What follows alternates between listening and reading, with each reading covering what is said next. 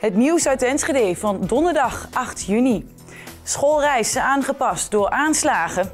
En hoe kun je veilig internetten? En op het moment dat jij daar iets bestelt en die gegevens zijn niet goed beschermd en het komt op straat, ja, dan, dan kunnen de meest erge dingen gebeuren.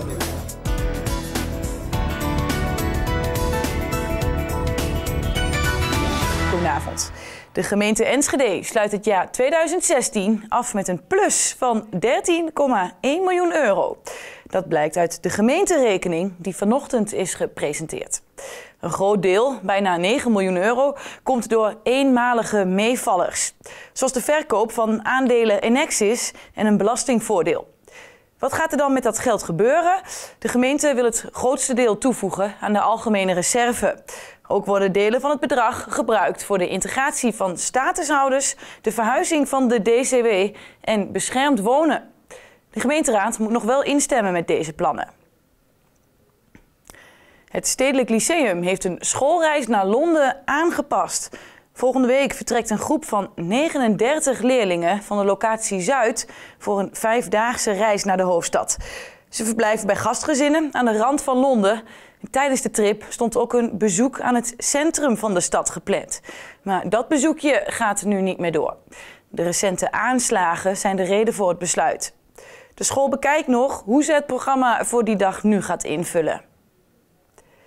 De Duitse koffieketen Coffee Fellows komt naar Enschede.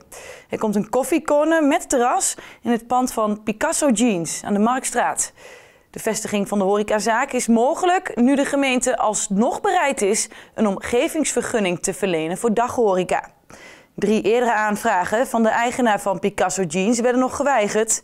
Maar door het nieuwe bestemmingsplan voor de binnenstad en doordat er nu een concreet initiatief is, komt die vergunning er nu wel.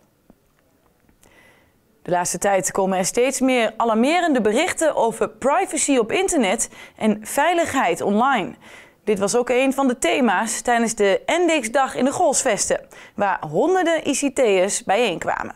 Het is een ontzettend belangrijk item aan het worden in de wereld. We hebben het meegemaakt een paar weken terug met WannaCry, waardoor heel veel computers, verouderde computers moet ik zeggen, uh, ja, op tilt stonden en dat je er niks meer mee kon. En uh, ja, mensen worden steeds meer duidelijker dat ja, cybersecurity in zijn geheel ontzettend belangrijk is. Ja, de grootste gevaar is natuurlijk het lekken van data ongewenst. Op het moment dat jij iets bestelt bij een bol.com, uiteindelijk komt, draait zo'n webshop in een, veelal in een datacenter. En op het moment dat jij daar iets bestelt en die gegevens zijn niet goed beschermd en het komt op straat, ja, dan, dan kunnen de meest erge dingen gebeuren. Kunnen mensen zelf ook wat doen om zich beter te beschermen als ze op het internet zijn? Ja, natuurlijk. Uh, uh, je ziet veelal is toch uh, Windows, hè, wat op Microsoft Windows, wat op de PC's draaien. wat wij wel adviseren is toch ook wel de update van, van Microsoft te blijven draaien, omdat die natuurlijk ook anticiperen op bedreigingen in de markt en een goede virusscanner. Dat betekent domweg van ja, dat je, dat je moet oppassen met de zaken die je binnenkrijgt via e-mail of wat dan ook, hè, het phishing zoals ze dat noemen, dat je daar heel voorzichtig mee bent, dat je geen dingen opent van mensen die je niet kent. Heel simpel. wat je niet vertrouwt, gooi het maar weg. Uh, als het belangrijk is, sturen ze nog wel een keer. Tussen het treinstation Kennispark en de UT wordt het innovatiepad aangelegd. In dit pad komen 24 zonnepanelen. Die niet alleen de straatverlichting van stroom voorzien, maar je kunt er straks ook je telefoon of laptop mee opladen. We zijn uh, gestart met aanleg van het innovatiepad. Uh, een uh, nieuwe verbinding tussen het uh, station Kennispark en de hoofdentree van de Universiteit Twente. De meest snelle en de meest veilige verbinding als je die route wil, wil bewandelen en, en fietsen. het is niet alleen een fysieke verbinding, maar het moet ook een, een omgeving gaan bieden voor ondernemers, studenten en bezoekers aan het gebied om elkaar te ontmoeten. Dus we zijn, zoals je ziet hier ook in een parkachtige omgeving beland waar die ontmoetingen inderdaad plaats kunnen vinden. En ontmoetingen zorgen voor nieuwe samenwerkingen en voor nieuwe uh, producten en technieken. We zijn gestart met het aanleggen van solar-elementen in het pad. Dus niet op het dak, maar in het pad. waar je gewoon overheen kan, kan lopen en fietsen zonder dat je onderuit gaat. En met die elementen wekken we energie op, waarmee we s'avonds lichtmasten kunnen laten branden.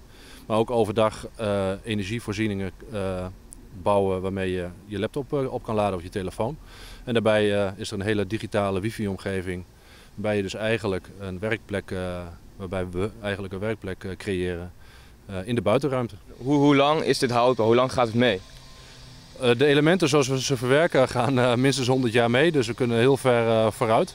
de elementen die we verwerken zijn ook modulair, dus de, je moet het zien als een soort van Lego steentjes. We kunnen de elementen eruit halen en weer opnieuw erin leggen. Dus we kunnen met de bouwstenen waar we het pad mee vormgeven inspelen op uh, veranderende omgeving, nieuwe technieken en veranderende trends. Dus uh, het pad ligt hier nu, maar als hier een gebouw moet komen, dan pakken we het pad op en leggen we het zo uh, maar ergens anders neer. En zoals altijd sluiten we af met het weer. Vandaag begon opnieuw bewolkt en nat, maar het was alweer een stuk minder koud dan de afgelopen dagen. Het was zo'n 22 graden vanmiddag. Dan morgen 20 graden, meer regen dan vandaag, wel minder wind.